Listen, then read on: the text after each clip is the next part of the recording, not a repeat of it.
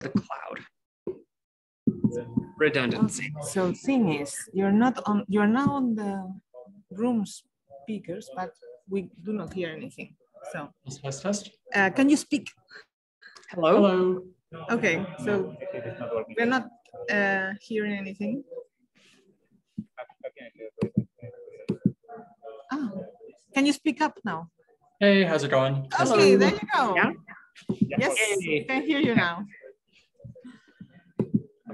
So do you want to share your screen, your slides?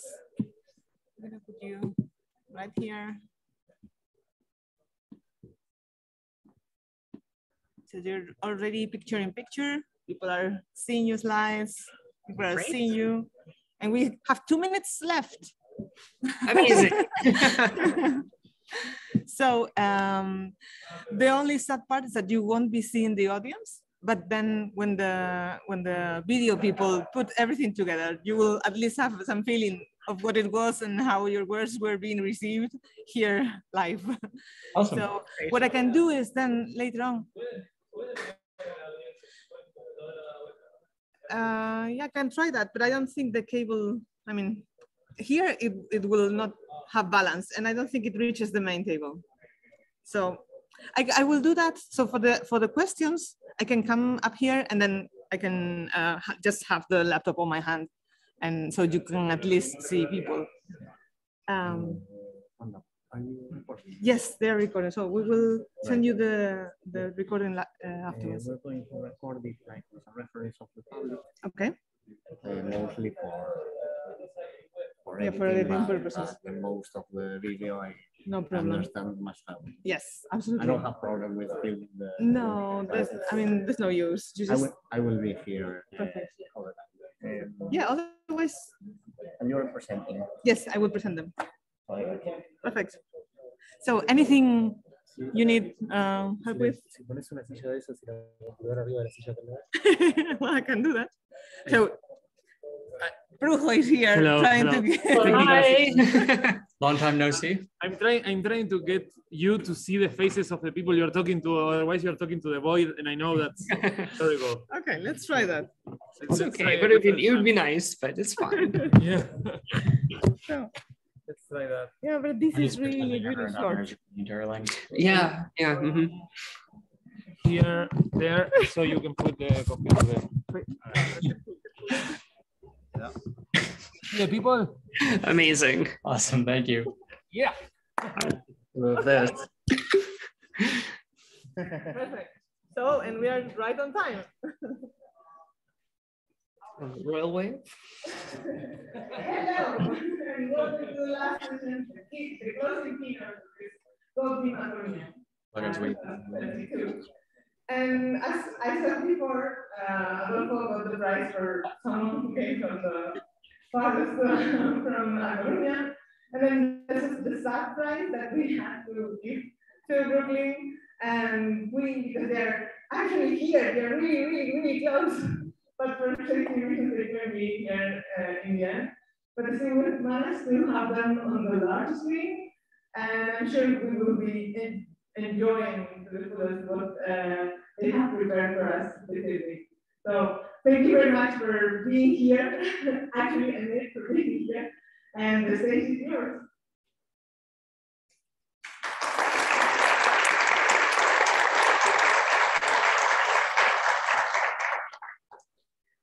All right. Um, can everyone hear us? Yes. Can we get a, a wave?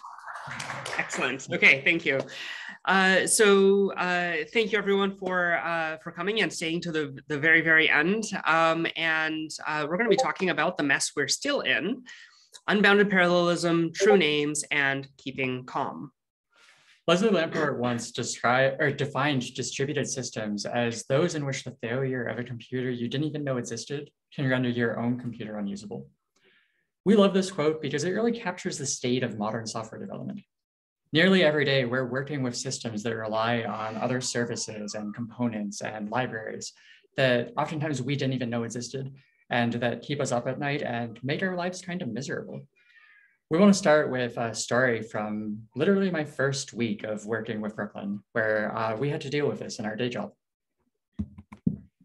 someone had popped into our Discord channel and uh, had shared this screenshot of a stack trace from Chrome. The browser hadn't been able to open a WebSocket connection to our server.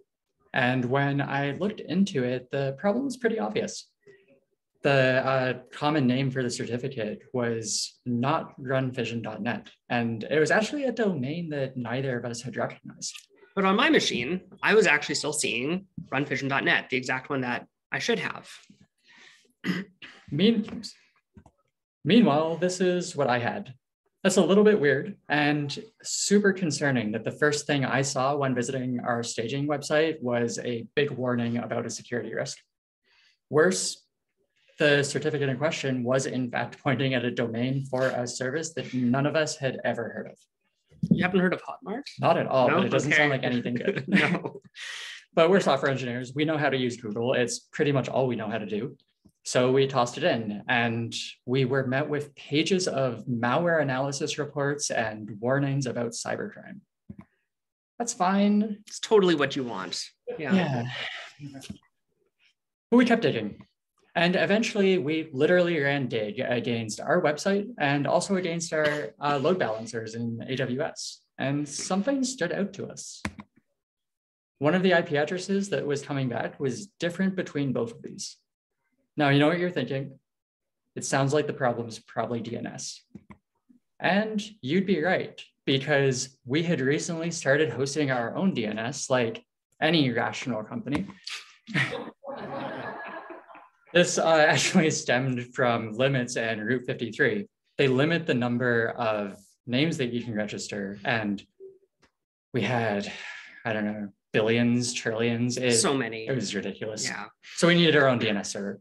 And what had actually happened was that at some point when the IP addresses that AWS had leased to us expired, they were assigned to somebody else. And AWS no longer managed our DNS, so they couldn't update our load balancers to point to the IP addresses that we were actually working with.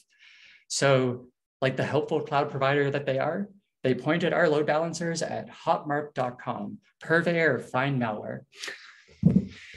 Fortunately, this was just our staging instance. So as Brooklyn observed, we weren't hacked. It did remind us of that uh, most ancient of haikus, I think it's from the Sengoku era of po- Japan. possibly. Yeah. It's not DNS. There's no way it's DNS. It was DNS. uh, which meant we were able to keep our DNS counter firmly at zero. Where it's been ever since. Yeah. We share this story not because the specifics of it actually matter, but because I think it's indicative of problems that literally every SRE team and really any engineering team faces nowadays. Whether or not you consider yourself a distributed systems researcher, you're working with distributed systems. And you need to understand these concepts in order to wrangle the mess that we're in. That's the talk of a the title of a talk that Joe gave about a decade ago at Strange Loop, where he kind of touched on a little bit of everything. But the core idea was that over time, software is getting more complicated. And the tools we have for working with that complexity aren't really growing to meet our new needs. I'm Quinn, and I'm an applied researcher at Fission, where I've been building a planetary scale database for local first applications. I'm also pretty active in the Elixir community, and I've contributed code to projects like Lumen, Gleam, Burrito, and Witchcraft, among a few others. And uh, I'm Brooklyn Zelenka. You can find me anywhere on the internet as expede. Uh, I'm the CTO at Fission, where we're working on uh, a completely, completely distributed stack. So uh, this topic uh, that we're talking about today is uh, obviously very near and dear to uh, near and dear to my heart. Um, and we're doing the full stack, auth, data, compute, and discovery. And in this community, I'm mostly known for writing a couple libraries, including Witchcraft, Algae, Exceptional, and a few others. And unfortunately, um, uh, we arrived uh, last weekend and uh, the very next day, uh, I uh, tested positive for coronavirus and then slept for uh, three and a half days.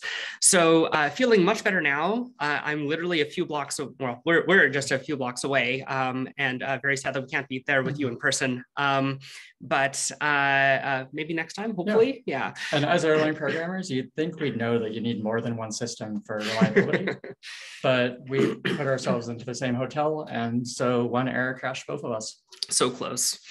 Yeah.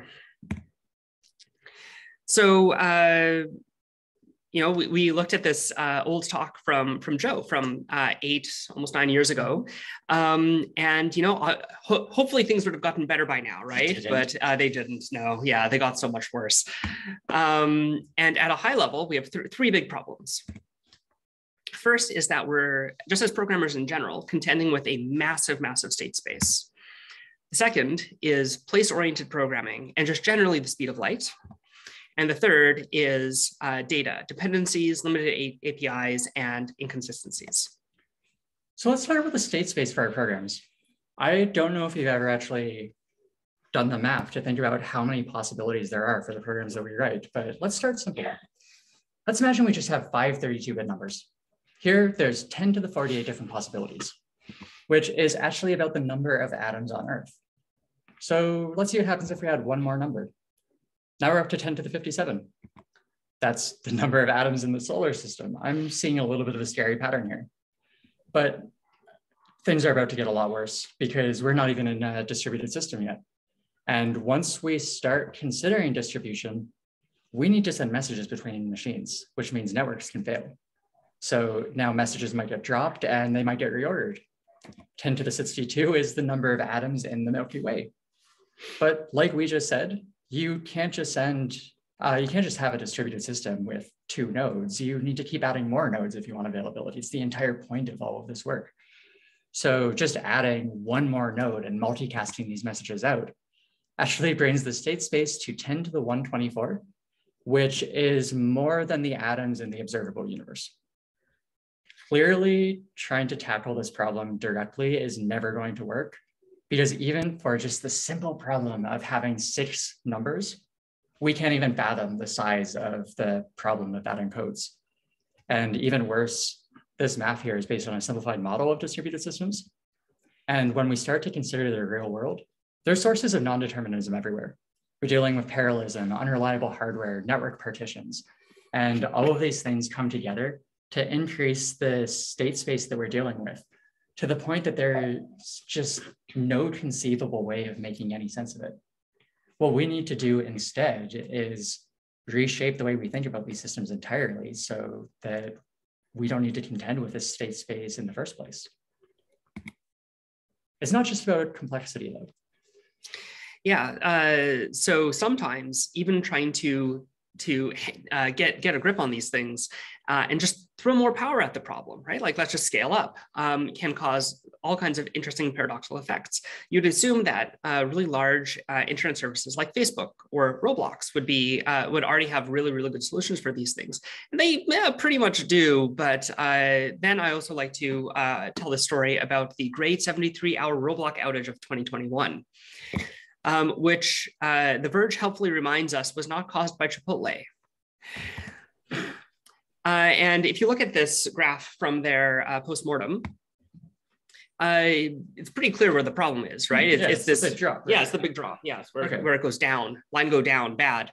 Um, turns out that that's actually not the problem. The problem was happening over here. The uh, the underlying problem was that they actually let me go back. The underlying problem was that they knew that they were going to have a spike in traffic, and so they added 50% more servers and switch from a blocking mechanism to an asynchronous one. Those all sound like good things. That sounds like that should get you more uh, more capacity. But because they were able to now push more things through the system, and they had part of the system that had uh, write amplification in it, so it started to send more messages based on the number of machines. Um, this continually caused the machine to go down, and it took them three days to figure this out because obviously more machines is better, right? That's called being web scale, right? Oh, totally web scale. Okay. Yeah, absolutely. Um, this is a uh, example of something called a metastable failure that um, a lot of these larger companies like uh, Facebook, Amazon, Roblox uh, have been running into uh, with increasing, fre- increasing frequency and have started to study. And it's where you have these paradoxical outages. When you try to add more uh, power to the system or more scale, you actually end up going down. Uh, here is a graph from the original uh, metastable failures paper. And it they do a good job of describing this in the paper, but it's a little bit hard to, uh, to get a quick grasp on here. So this is usually how we end up explaining it. Um, the idea of something being, being metastable is the same way that uh, if you have, a, say, a chemical reaction, and maybe you need to add heat to it, you've got to put it over a flame to get started. You need that little mm, boost of energy to get over somewhere. So on this graph, we have energy on the vertical axis and stability or instability, I guess, uh, on, on the horizontal. And here's our system. And it's sitting in this nice little um, uh, cup at the bottom here.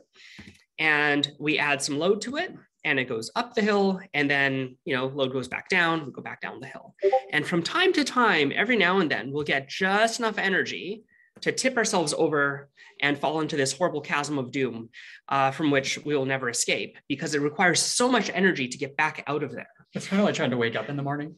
Yeah, it's really rough. Yeah. Um, so the obvious thing is, well, let's just reboot the entire system, right? Let's just crash it and let it cascade through the whole system and crash again. But that hasn't actually solved the problem. And you're going to keep running into this problem anytime you hit just enough energy to get over. Um, and uh, it's hard to test because all of your assumptions about your test are that, well, you know, if we get to 99%, it'll be fine, but it's actually only at 101% of your capacity, right? Things like this. Um, and so uh, work amplification and just general thrash in your system uh, can cause things like this. So even when you're trying to do the right thing and add capacity, you can still uh, end up uh, paradoxically uh, taking the system down. It's also about the fundamental way with which we organize data within our systems, though. There's this culture of prioritizing the location the data exists in rather than the data that we're actually dealing with. And this really constrains the flexibility of our systems and puts a very low ceiling on the sorts of efficiency uh, guarantees that we can ask for from our systems in the first place.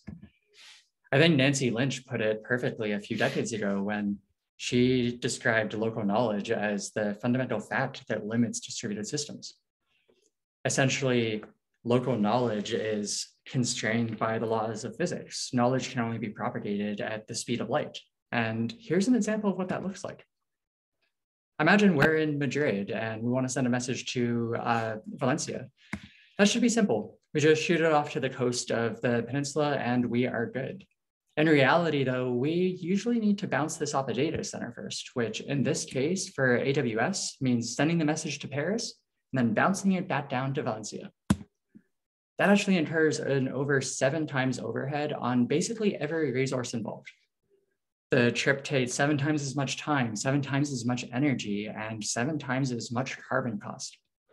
Once you account for all of the network traffic that's passing through these links on a daily basis, it becomes pretty clear just how much waste is being produced through this through this way of communicating knowledge. And I think if we're to truly take advantage of the incredibly powerful systems that we have access to today, while not frying the planet in the process, this is the sort of thing that we're going to need to move past. And as we do so, maybe we should also try to find ways of working around the flexibility limitations imposed by this sort of model. So this idea of locality fundamentally places data behind walls, right? They have to sit behind individual actual services. So if you're doing a uh, integration and calling multiple APIs, which let's face it, a lot of apps do today, um, that means that you have to depend on them having the data available, pre-negotiating a token with you, having appropriate access control to make sure that your token doesn't get stolen, um, and making sure that the data is in an appropriate format, and then actually exposing the correct APIs for the kinds of things that you care about in the first place. um, so in this picture, for example, we have this, uh, the character in the uh, purple box talking to two services just fine, but actually not being able to talk over to this video game service. Is there a possible way uh, foreshadowing, um, to break this up so that data can live anywhere and data can be shared across services and accessed and replicated um, and uh, be used in an easier way to make it easier to interoperate, easier to access, and have more reliability. But I know what you're thinking. This is only a problem for proprietary services. And we write Elixir. We use libraries every day. On the front end, we have access to NPM too. Last time I checked how many dependencies were in my node module supporter, it actually ended up being more than the number of atoms in the observable universe. So this isn't actually a problem. But that doesn't actually hold up in practice. On my last team, I was working on an Elixir application for almost a decade. And over the span of those 10 years, we went through six different HTTP clients, from HTTPotion all the way up to Req, with basically everything in between. And that might sound a little bit ludicrous, but every step in this chain actually made a ton of sense. It was giving us new capabilities that the previous library didn't. And that's great. We should be evolving our systems in response to new needs and requirements. The problem here was that each of these libraries had different interfaces and was working with different data models, which meant that every time we went through a change like this, we had to stop and really evaluate whether we were breaking anything else in the process and do a ton of manual rote work to make sure that everything was in sync and consistent in the way that we needed. And that's just over 10 years. Software as an industry is less than a century old, but if you look at cathedrals, for example, some of them take hundreds of years to build. Can you imagine how many iterations uh, a 200 year old software project is mm. going to go through and how much of a maintenance burden it's going to be trying to keep your, your node modules up to date over literally two centuries? Sometimes I'm merging 500 Dependabot pull requests in a day it's gonna be a lot of uh, semver bumps. Yeah. Yeah. There's ideas that we can take from other ecosystems to make these sorts of changes easier, though. And we're going to talk about some of those later on. I want to uh, call out this quote by Joe, though, from his blog, uh, really one of his blogs. He had something like six different blogs because every couple of years he had to build a new one. Either the service he was using for blogging shut down and uh, he needed to find a new service, or the static site generator he was using stopped being maintained, or he realized that some of the formats he was using were weren't standards compliant. Basically, over over like a 15 year period, he just his blog was like a ship of Theseus of components that he kept having to replace and rewrite and reconfigure. And eventually he ended up on TiddlyWiki, which is an extremely open platform that he was happy with. But along the way, he had this serious fear of losing all of his writing to the future. If he can't even keep his writing around for a couple of years, then what does that say for the next generation? And this extends to every artifact that we produce and store in digital systems too. Can you imagine trying to maintain a 500 year old system if all the documentation is stored in PDFs and Acrobat Reader hasn't actually run since, I don't know, the 22nd century. It just sounds terrible. So uh, this is kind of a small sampling of some of the problems that we want to talk about today. And we are going to show off some solutions by the end, but some of them are a little bit out there. So before we get there, we need to lay some, some framework to kind of reframe the way that you're thinking about these problems and get to a place where the solutions aren't aren't going to seem so alien. So when we're talking about moving messages around in a network uh, or message passing in general, um, we have to remember that unfortunately, uh, the speed of light is finite uh, until we figure that figure out that whole quantum teleportation thing. Um, and uh, one way of visualizing this is almost like ripples moving across the planet. Uh, an easy way of thinking about um, uh, how different things can interact over time is like a light cone. So in this one, where the two um, uh, cones meet in the middle there, uh, that's the present. And over time, as those things move into the past, um, uh, you can see that uh, it gets wider. And so it can, uh, that ripple can have become larger and it could have interacted with more things. So let's do that with this picture here. Let's move through time. And yeah, the ripples got bigger. Um, but obviously they're coming from different points, right? So we can get messages out of order uh, in a different sequence, um, and they, will take a lot, a different amount of time to get from, say, Australia to Europe to North America, right? But ah, I see what you're thinking. There's this nice region right here where everything's nice and overlapped, right? And maybe if we just keep people in there and make some guarantees about like, well, over time, it'll just end up in this spot. And you're right to a degree. But the problem is anybody sitting uh, at that point also has a different light cone from the sender or from any of the other receivers. Um, and yes, you could limit yourself to just this little part of the light cone, but that is only for those two. As you can imagine, this picture gets really complex as you add more receivers and people are, you know, walking around with their cell phones. Um, and there's nothing special about this for computers, right? This is just a physical property of the world. Um, as Joe always said, you can't forget the laws of physics.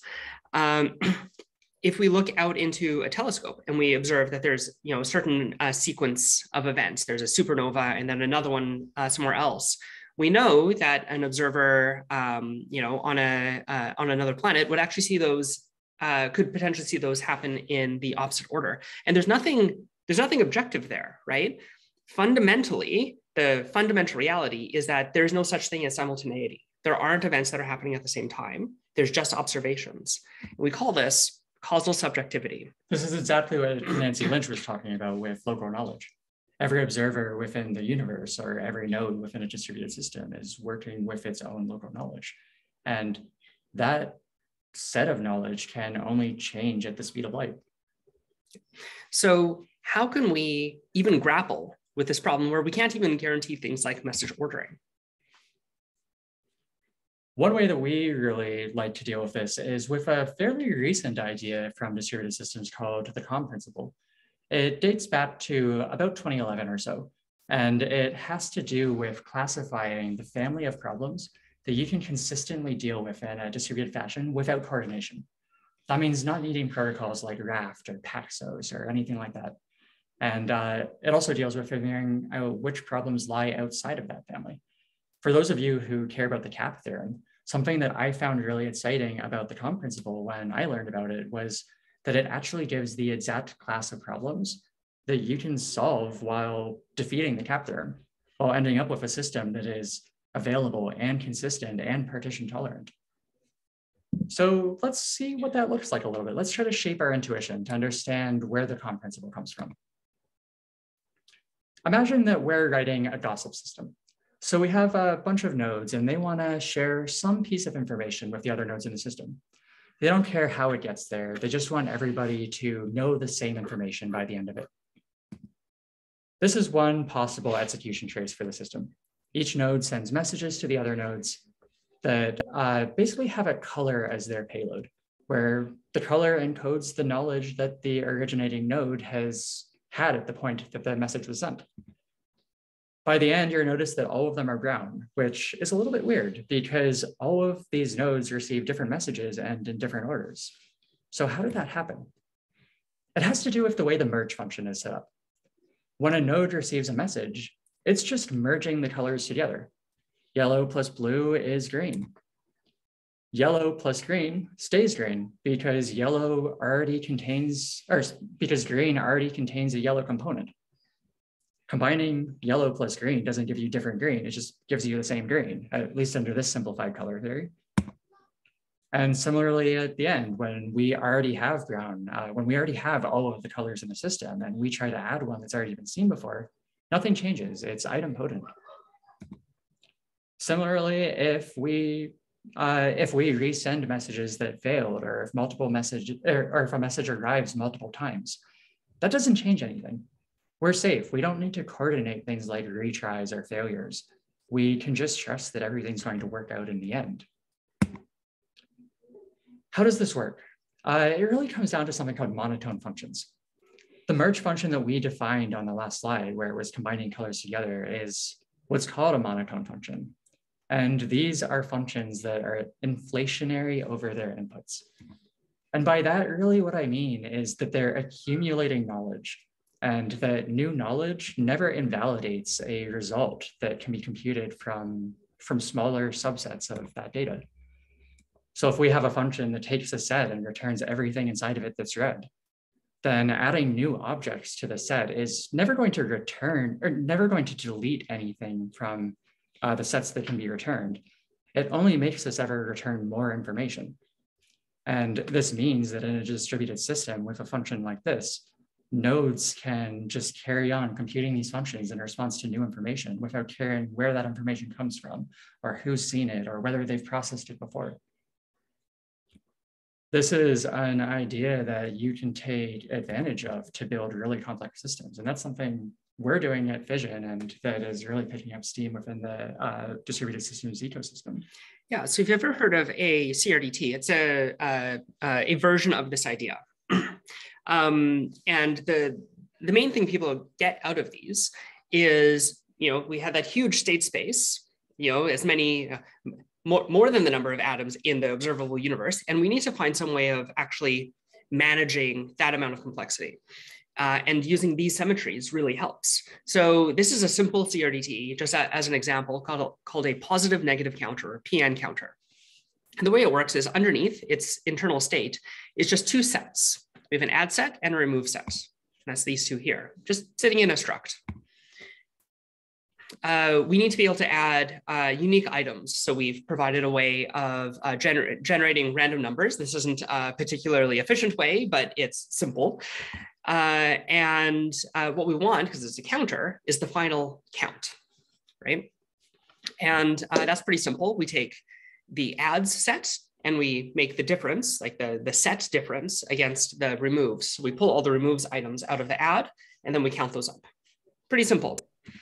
Adding items to this is uh, very straightforward. We add them into that set and removing them is uh, paradoxically uh, uh, adding them to the remove set. So we're never pulling data out. We're only ever adding, inflating the state that we have inside.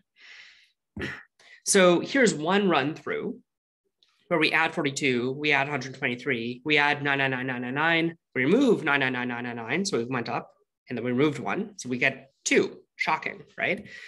But we can also have a much more disordered version where we insert the same element several times. We, we remove something before we insert it because we got messages out of order, right? All of these things.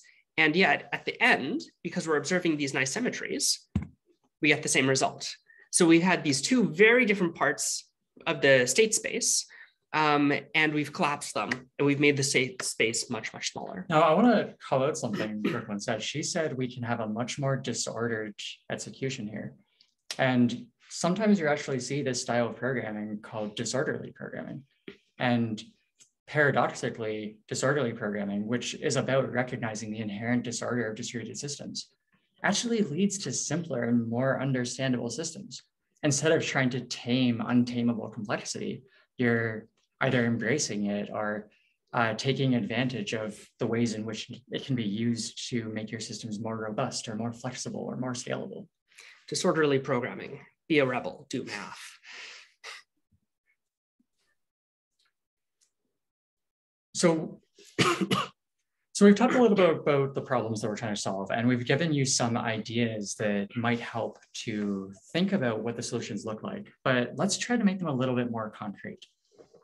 And I know we're asking a lot of you. We just spent like 20 minutes saying to throw out your consistency protocols and uh, and eschew the idea of order and get rid of consistency and uh, stop worrying about the speed of light. There's a lot going on here, but uh, these are ideas that we're incorporating into the work that we're doing. And uh, and taking advantage of these ideas does require a radical shift in how we build applications. It means rethinking auth and locality and storage and compute, which again, I know that sounds scary, but all of the pieces that we're talking about and that we're going to be talking about aren't new. And in many cases, they've been around and in production for decades.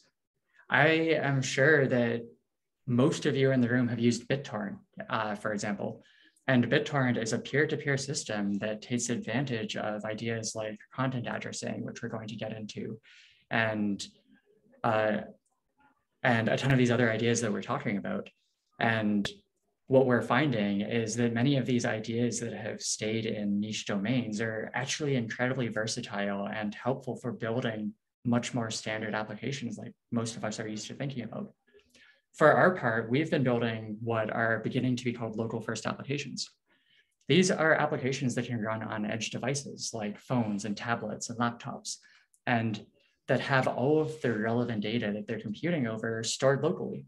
And then they exchange this data over peer-to-peer networks and distribute using distributed hash tables and such.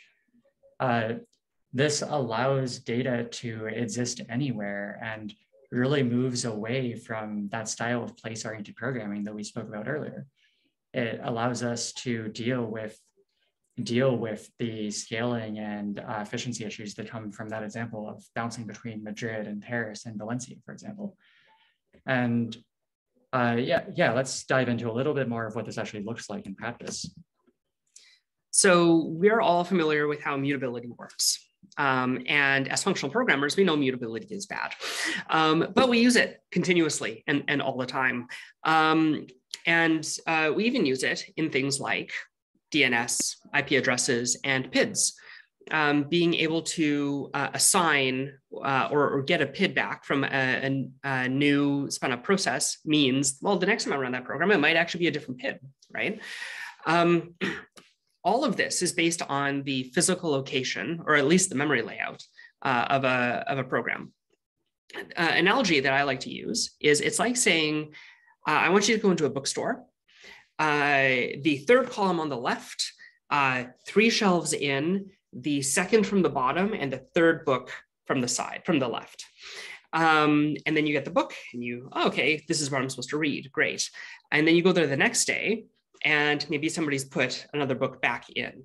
And now you have a different book, third in from the side, right? That's what you asked for. It is exactly what I asked yeah. for, right? Yeah, to- to- totally.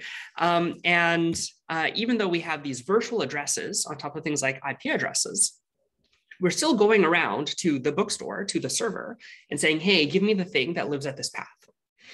Um, and this is referentially opaque. Uh, if I ask for a photo, um, the next day it might have a funny mustache on it, right? There's no way of knowing that I'm actually getting the right data. And I have to go to that specific bookstore because another bookstore might have different content or things laid out differently.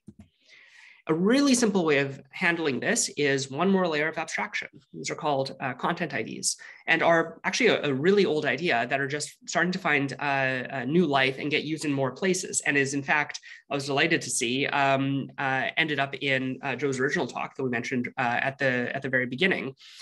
Um, in this version, we hash the data. We just take a, a SHA-2 sum of uh, whatever the data is, and now if I hash it or you hash it or anybody else hashes it, we get the same hash. And so we can use that as the key in a key value store. And anybody that has it can now send it to me. Or if I already have that hash, I know that I don't have to go out to the network at all to look for it.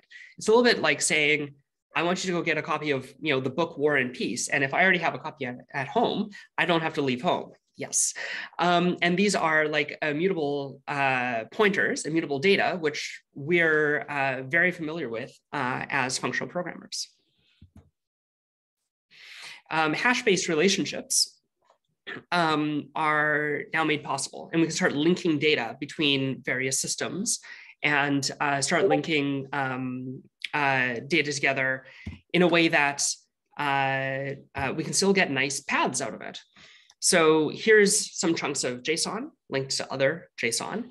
And because it requires the hash uh, inside, that would then change the top level hash if you changed everything inside of it, right? So just like you get hash chaining in Git, where if you changed anything in your commit, it would change that, that final hash.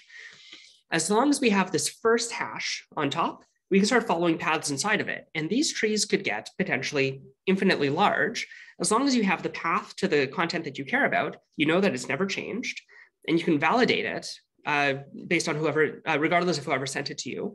And uh, it's very cacheable because uh, once you have it and once you have the hash, you know that nothing nothing can change because it's totally immutable. You also get normalization for free. If multiple objects reference the same the same content ID, that only needs to be stored once in the data store, but uh, because the storage is based on the hash of the content, any repeated use of the same content is going to end up referring to the same data.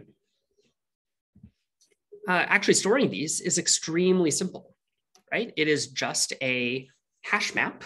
Uh, so in the same way that you have uh, hashes uh, stored inside of your, your regular Elixir map, uh, those hashes don't uh, exist across systems. So this gives you a way of having literally a global uh, map, Elixir map, for all of your systems. And uh, it can be implemented in something like, what, 10 lines of code or so.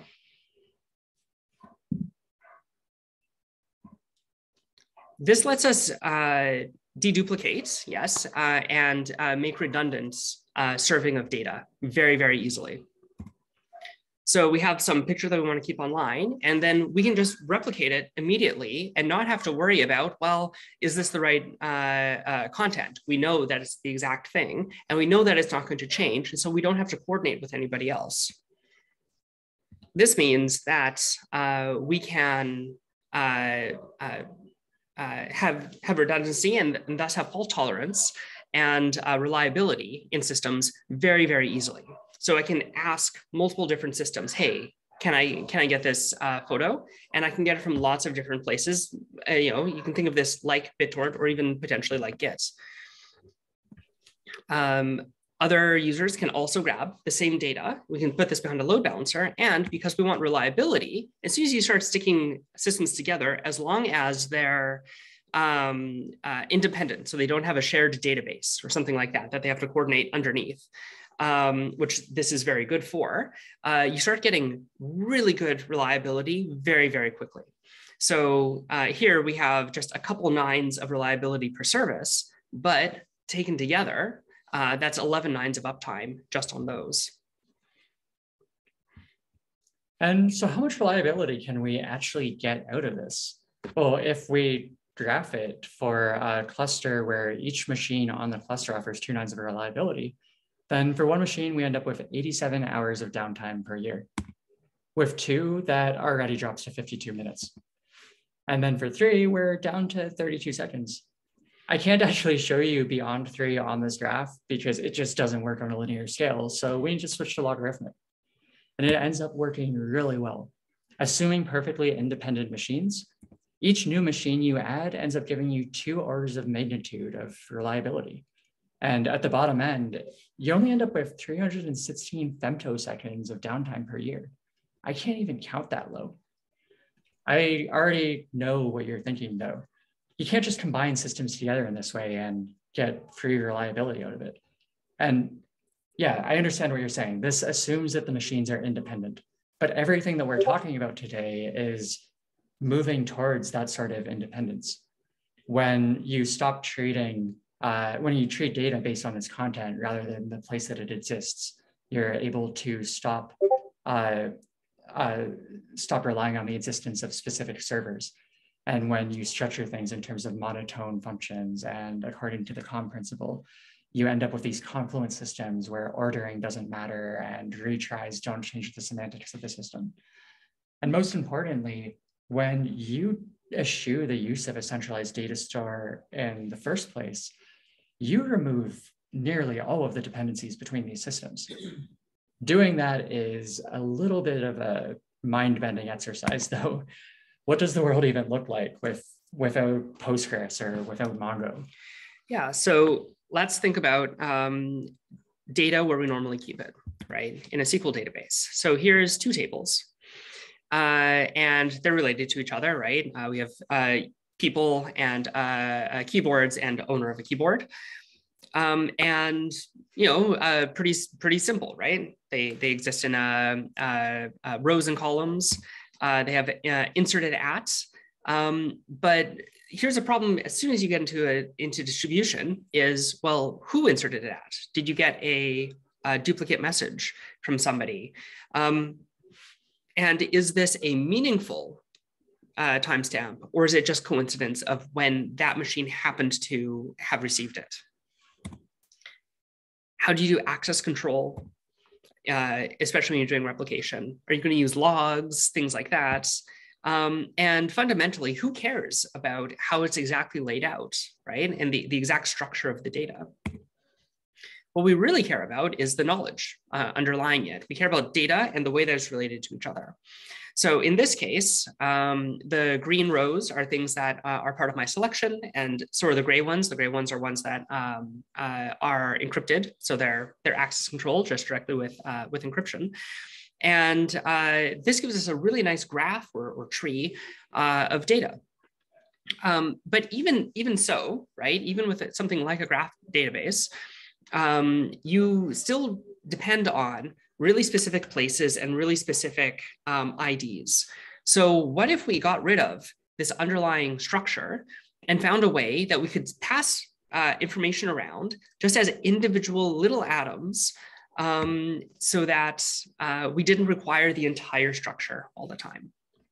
And it looks something like this. This is called an entity attribute value graph or EAV.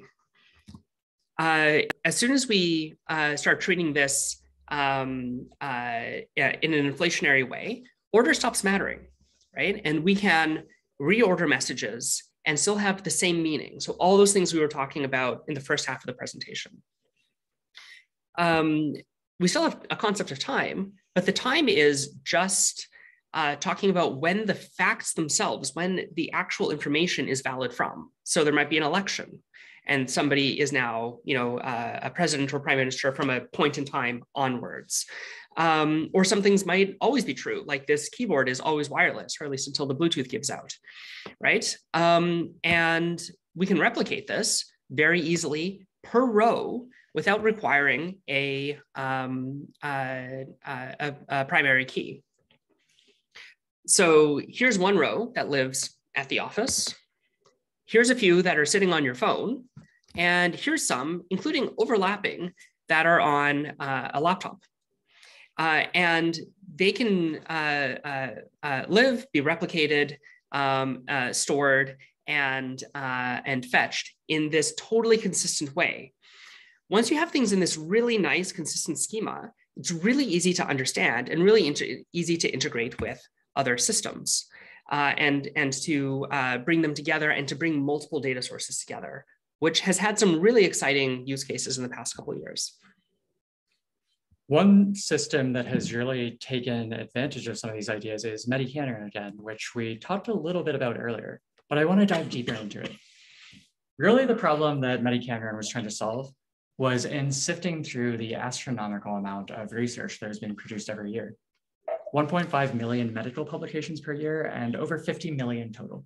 And it was to the point that medical researchers were simply unable to do any sort of cross field or cross subfield analysis to really understand how research being performed by others was impacting their own work and what sorts of insights they could draw from it. Uh, earlier, uh, the quote by Will Byrd mentioned that the cost of missing these insights is actually measured in human lives. And I think that that's something that's easy to forget. Uh, when you, yeah, sorry. Uh, yeah, so one of the issue, one of the reasons this problem is so hard to solve is because we're dealing with so many different institutions and organizations and publications.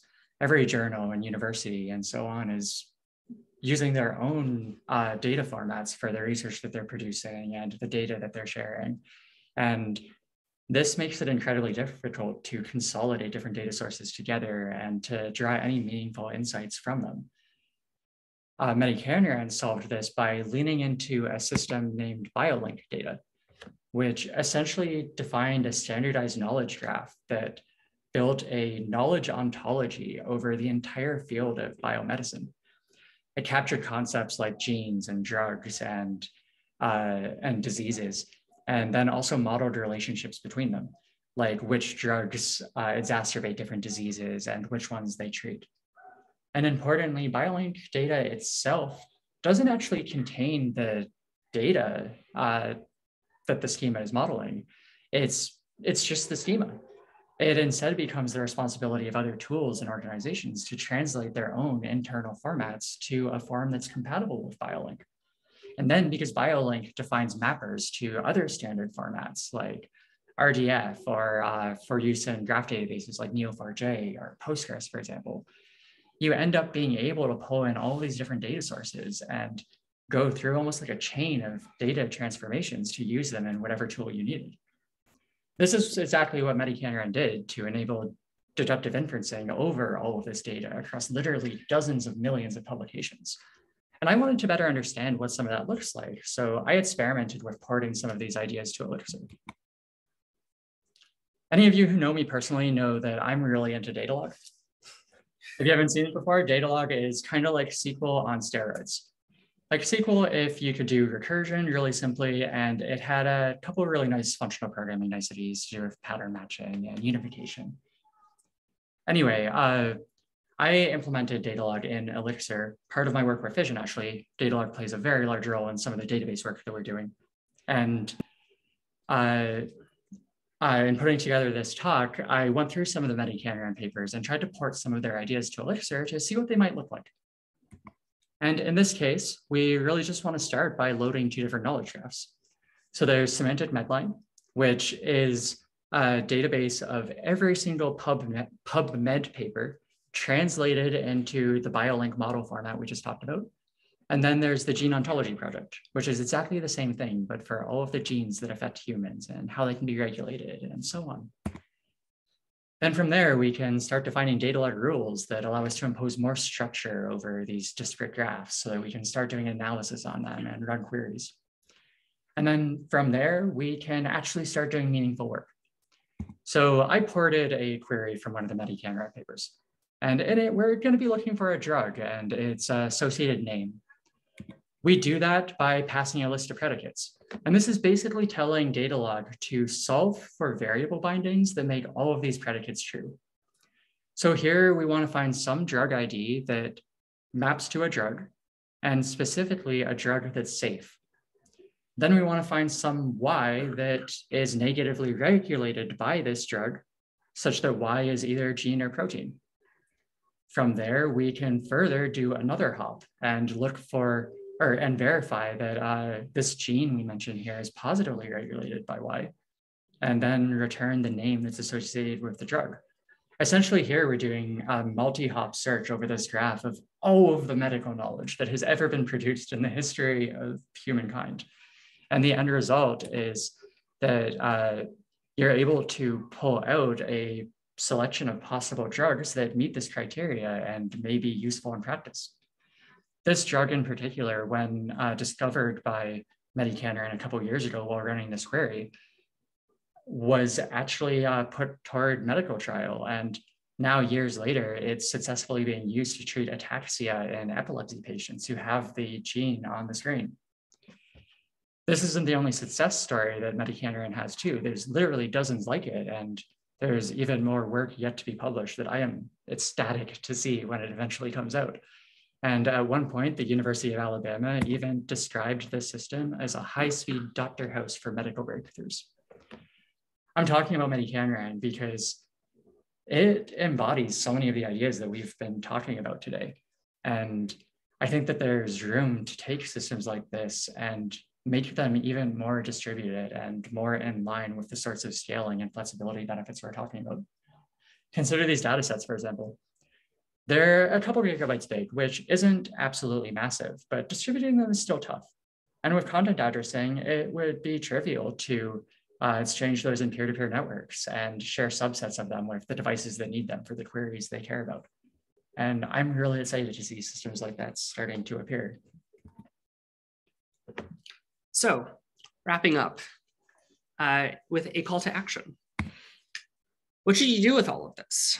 Well, the good news is that you're already writing Elixir, and Elixir has a long history of doing exactly things like this. So uh, one of my favorite examples is uh, Phoenix Presence used CRDTs very early uh, in, uh, in their history. So the, uh, uh some of the earliest papers were written in 2011.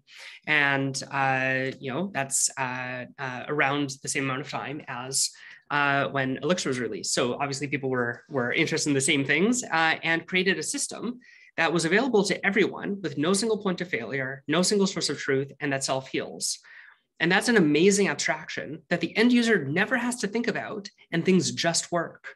So yes, there's a, a, small amount of theory underneath it, but then we empower a huge number of people to not have problems, not have bugs, not have sleepless nights um, when working in these massively complex systems with so many different states. So there's three main things that we want uh, people to remember. Embrace the distributed nature of the network. Don't fight it. Don't try to put things in a single machine. That's everybody's first instinct. Go the opposite way. Put data in interoperable formats. It's so much easier to integrate with for literally everyone involved. And that can be as simple as that EAV, entity attribute value, uh, we mentioned earlier. And finally, if you can actually do these things, then you pretty much get replication for free, which means you get massive fault tolerance. And if there's one thing that this community is really about, it's having good engineering fault tolerant systems. I think either of us would be the first to admit that distributed systems are hard and they are always going to be hard. But I don't think they need to be as hard as the world at large considers them. So many of the problems that we face when working with and building these systems I think come from the fact that we're thinking about them wrong and kind of fighting their nature. How many of you were functional programmers before you picked up Elixir? Like 10 years ago, how many of you knew functional programming? Before that, did it seem kind of arcane? Did it, did it make any sense? Probably not if you're like most people. And that's okay. But at some point, something happens that reframes the problem in your head and a problem that previously seemed intractable suddenly becomes common nature. And it really changes the way that you work. And I think that that's something that we can see with distributed systems in the next couple of years as we start to really embrace some of these ideas.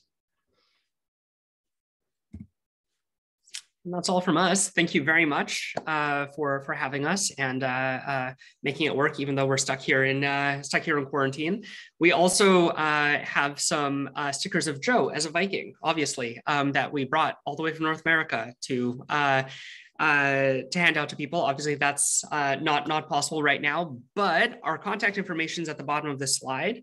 Uh, if you would like one or more stickers, um, uh, please let us know. Uh, and it may even come with a sticker pack with a you know witchcraft logo, etc.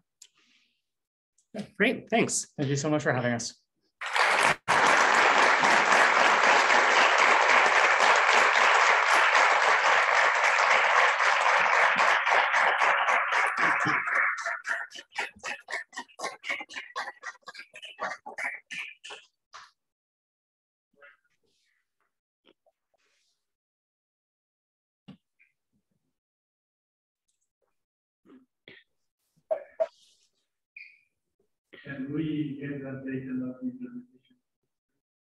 Soon.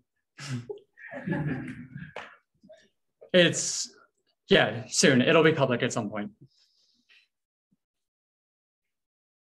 I've been having way too much fun making it better and better that I haven't wanted to release it yet.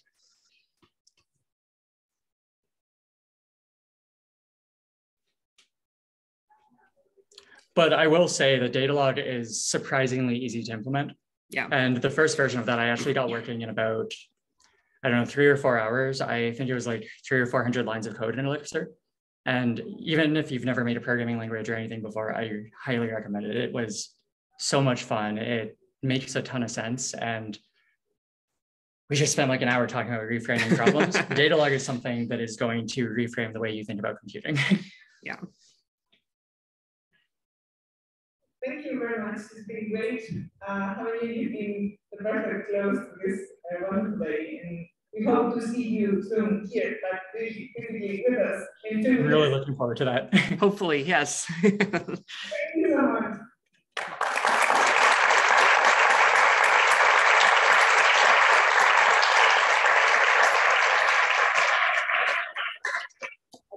going to just close the Zoom, but you can stay for the closing. I just want to say thank you to each and every one of you here